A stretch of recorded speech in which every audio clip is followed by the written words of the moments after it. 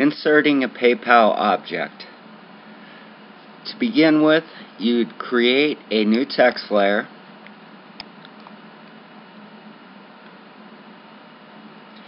And with PayPal and other code that you want to enter manually, you'll have to click this item here.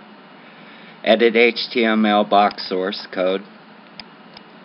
And then paste your PayPal code into the text area.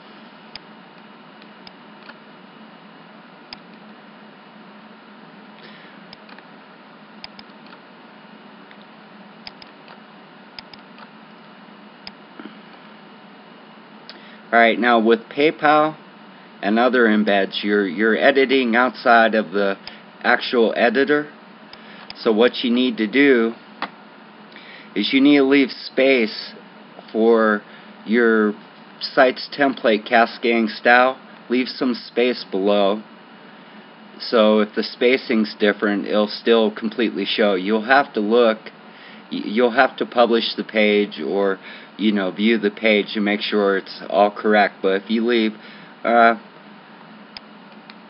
an inch inch of room below it should be fine the editor may adjust for it like it is there but just in case leave some space.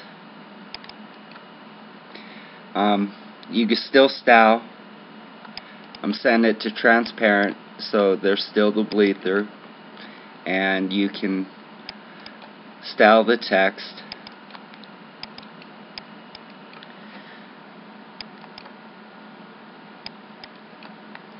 And that's adding a shopping cart